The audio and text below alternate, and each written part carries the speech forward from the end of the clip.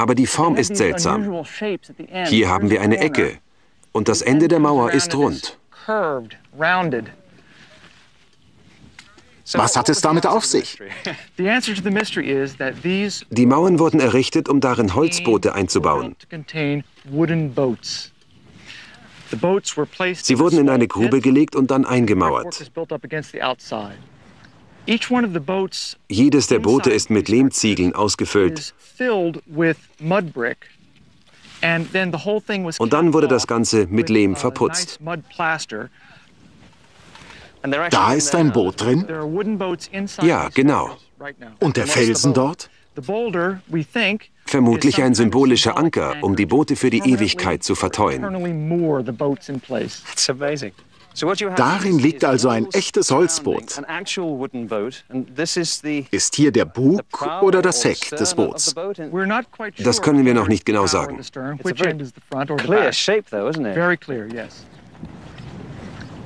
Wie lang sind diese Boote?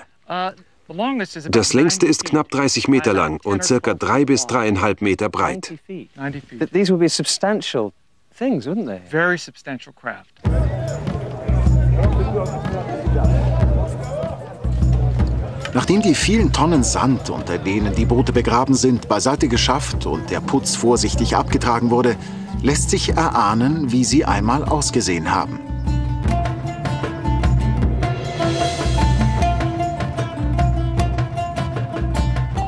Wenn die Mauern freigelegt sind, kommen die Holzplanken des langen und schmalen Boots zum Vorschein, das hier seit fast 5000 Jahren liegt.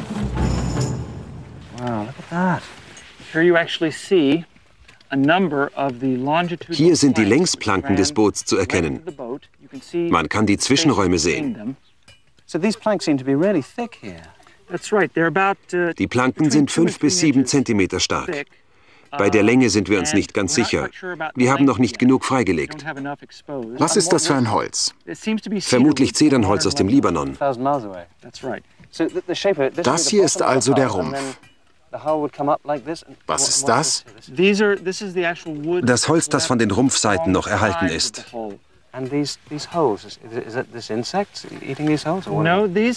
Diese Löcher wurden für die Tower ins Holz gebohrt, mit denen die Planken zusammengehalten wurden. Sie wurden hier durchgezogen. Hier sind zwei, hier auch und hier. Debbie, womit behandeln Sie das Holz?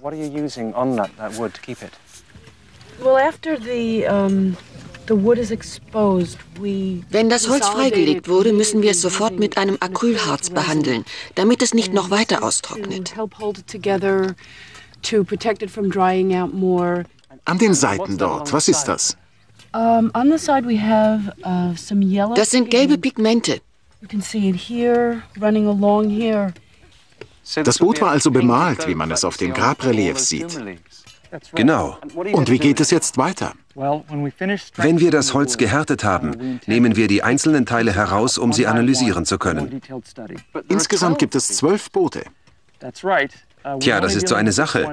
Viele Jahre dachten wir, es gäbe nur zwölf. Aber vor einigen Tagen haben wir eine Überraschung erlebt. Sie gingen also davon aus, dass hier zwölf Boote liegen. Ja, dort sehen Sie Boot Nummer 12. Und bis vor zwei Tagen hätte ich geschworen, dass das alle sind. Aber dann sind wir auf diese neue Ziegelreihe gestoßen. Und das ist Boot Nummer 13. Dann könnten hier theoretisch noch einige hundert Boote liegen. So eine Art antiker Yachthafen, ja? Eine königliche Flotte in der Wüste. Ständig werden neue Geheimnisse enthüllt. Kurz nach meiner Abreise wurde ein 14. dieser ältesten Boote der Welt entdeckt. Diese königliche Flotte, die Matthew Adams und seine Kollegen retten wollen, war in der Nähe der Mastabas der frühen Könige begraben.